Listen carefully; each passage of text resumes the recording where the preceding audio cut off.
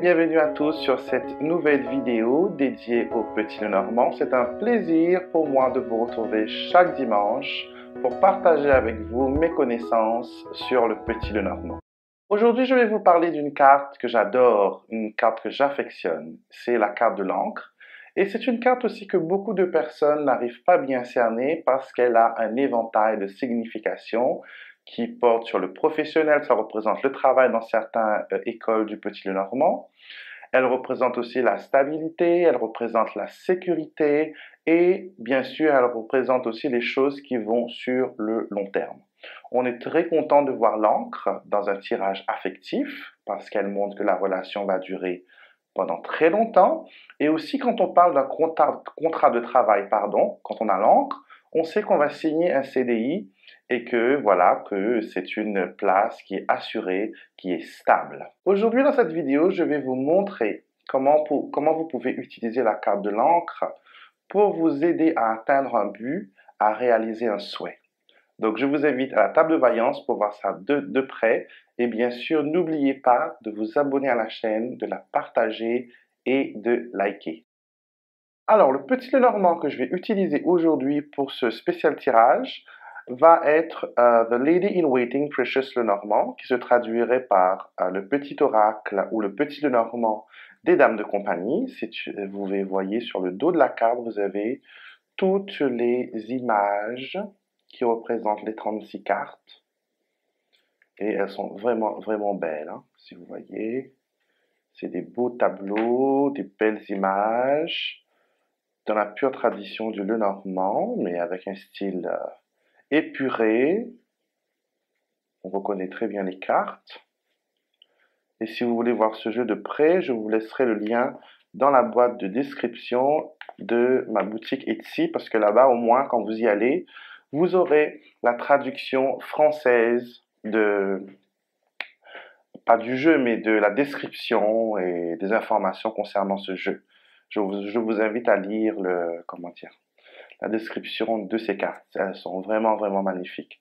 Donc, aujourd'hui, nous allons utiliser l'encre et elle va nous aider vraiment à réussir dans une entreprise, dans un but, à atteindre un but.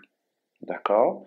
Euh, C'est vraiment une guidance, euh, on pourrait dire une guidance spirituelle parce qu'elle n'est pas que pour des questions euh, matérielles, pas affectives, mais elle pourrait être par exemple euh, quels sont les moyens que je pourrais utiliser pour arrêter de fumer?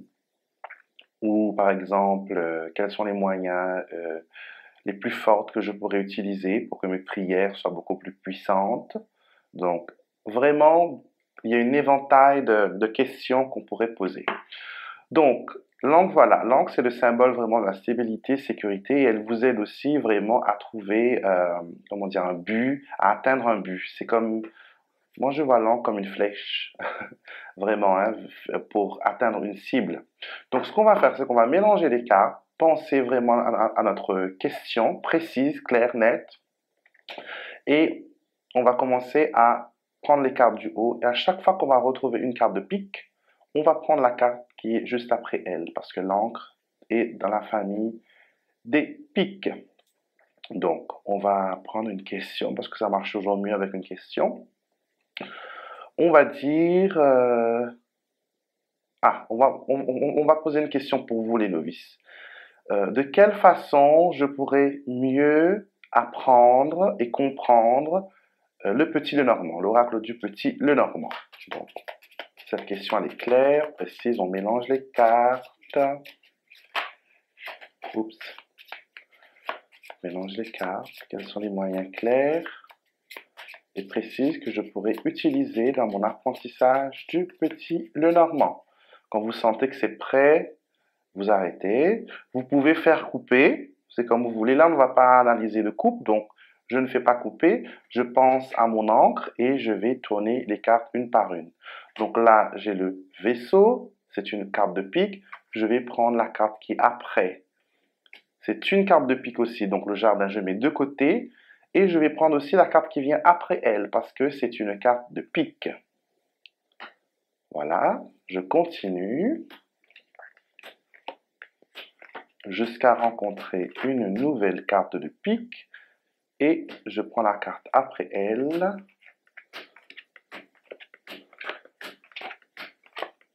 Une carte de pique, une autre carte, une carte de pique, la suivante, une carte de pique, la suivante, et on fait ça ainsi de suite jusqu'à l'épuisement du paquet.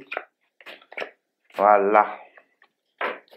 Donc là, maintenant, on met le paquet, euh, voilà, de l'autre côté. On n'a pas besoin d'elle pour le moment. Et là, ce qui nous intéresse, c'est vraiment les cartes qui sont sorties après les cartes de pique. Et là, on a 1, 2, 3, 4, 5, 6, 7, 8, 9 cartes. On va interpréter les cartes. Ça va aussi vous aider à interpréter les tirages euh, de plus de, de 3 cartes. D'accord? Donc, ce qui est marrant avec un tirage de 9 cartes, c'est une combinaison de 3, plus une combinaison de 3, plus une combinaison de 3. D'accord? Moi, je, l'interpréterai comme ça pour ceux qui sont novices. Donc, alors, on va commencer par les trois du milieu parce qu'elles représentent euh, euh, le, point de, le point visuel, le point focal de notre question. Ici, nous avons le soleil, euh, la cigogne et le cœur. Alors, ces trois cartes me diraient, pour votre apprentissage du petit le normand, il faut vraiment euh, pour, que ce soit clair dans votre tête, il faut vraiment voir, étendre votre vision, parce que le soleil, il est haut, la cigogne vole très haut, donc il faut vraiment voir la grande image, voir les choses en grand, sortir des, euh, euh, de l'ancienne on va dire. Le soleil, c'est un renouveau, c'est une aube nouvelle, c'est vraiment un nouveau jour. Donc, il faut avoir un, un nouvel œil sur votre interprétation. Et vraiment, euh, la cigogne, pour moi, c'est la mise à jour. Hein? C'est quand on va, quand on a une promotion, on sort d'une position pour aller vers l'autre. Quand on déménage, on sort d'un endroit pour aller vers l'autre. Donc, c'est vraiment une promotion, c'est vraiment une élévation. Avec le cœur, ici, on vous dit de faire confiance aussi à votre feeling, à votre instinct, à votre intuition, à votre cœur. Parce que l'intuition, elle n'est pas dans la tête. Hein. Elle est vraiment dans le cœur. C'est ce qu'on ressent dans notre cœur qui va au cerveau. Donc là, déjà, vous avez ça. Ça, c'est pour votre présent ou sinon votre situation actuelle. D'accord? Votre passé. Alors ici, on a le jardin, les chemins ou euh, le, oui, le carrefour. Et vous avez aussi les nuages. Donc ici, on voit le jardin, le groupe. Donc, vous avez peut-être appris avec beaucoup de personnes ou suivi des groupes ou un apprentissage en commun. Et cet apprentissage vous a mené avec les chemins vers plus de, comment dire, de confusion, de ne pas vraiment comprendre où je vais. Certaines personnes me disent que l'encre c'est le travail, certaines personnes me disent que l'encre c'est la stabilité, d'autres personnes me disent que l'encre c'est pas bon, c'est lourd les choses restent en place, je ne sais vraiment pas sur quel pied danser.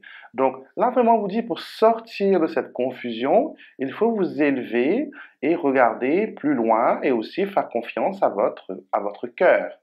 Pas, ne pas écouter que votre cerveau, on va dire. Il faut aussi écouter votre cœur. D'accord? Et là, dans la carte du futur, vous avez le serpent, le lys et le monsieur. Ici, on vous dit le serpent, dans cette question, elle ne va pas bien sûr parler de personnes hypocrites ou traîtres. Comme je dis toujours, il faut toujours interpréter les cartes d'après la circonstance, pardon, et aussi d'après le contexte. D'accord? Donc ici, on voit bien que le serpent, c'est une façon détournée ou c'est une façon différente de voir les choses. D'accord? Le lys, c'est la sérénité, c'est la paix, mais c'est aussi la sagesse, the wisdom. Et avec l'homme, quand l'homme sort, c'est quelqu'un qui a, surtout en fin de ligne, c'est quelqu'un qui a parcouru tout ça, hein, vraiment connu tout ça. Et là, maintenant, il est prêt à aller vers le nouveau chapitre, parce que là, c'est blanc, il n'y a rien. Hein. Donc là, on est prêt à aller vers une nouvelle page. D'accord? Donc, si on met ça dans une, dans, comment dire, dans, une phrase cohérente, c'est que dans le passé, vous avez appris ou vous avez été euh, dans des groupes Mais, mais cette guidance ou cette pratique vous a apporté plus de confusion qu'il n'en faut. Ce qu'il faut faire maintenant, c'est vraiment vous élever, voir les choses d'un nouvel œil et aussi ressentir les cartes, ressentir la, situation, laisser parler votre intuition. D'accord? Si vous faites cela, c'est une façon détournée de voir les choses parce que le serpent, lui, il fixe ces cartes-là. On voit qu'avec le lys ici, oui, vous aurez cette sérénité, vous aurez cette sagesse acquise après avoir essayé plusieurs choses. Le serpent, c'est aussi essayer plusieurs choses, tenter plusieurs choses. Et à la fin, on voit bien que vous arrivez à être maître de vous si vous écoutez la guidance que les cartes vous ont offerte ici. J'espère que cette nouvelle vidéo vous a plu et vous a aussi inspiré pour essayer ce nouveau tirage. Comme vous l'avez vu, on a vu euh, un tirage qui est très extensif, un tirage de 9 cartes. Donc vous pouvez appliquer aussi cette méthode quand vous faites vos tirages à 9 cartes, où vous divisez les 9 cartes par petits groupes de 3, et ça rend vraiment l'interprétation beaucoup plus facile et beaucoup plus fluide. Je vous invite maintenant, bien sûr, à vous abonner à la chaîne, comme vous le faites chaque semaine, de partager la vidéo dans vos groupes de discussion, dans vos groupes d'apprentissage, et partagez-la aussi avec ceux que vous pensez qui sont enthousiastes comme nous par l'oracle de Mademoiselle Lenormand. Pour mes amis francophones, j'ai une surprise qui arrive très très bientôt pour vous. Malheureusement, non, ce n'est pas la traduction de mon livre en français, mais vraiment quelque chose qui va vraiment vous plaire. Donc je vous dis à très bientôt et une très belle semaine. Au revoir.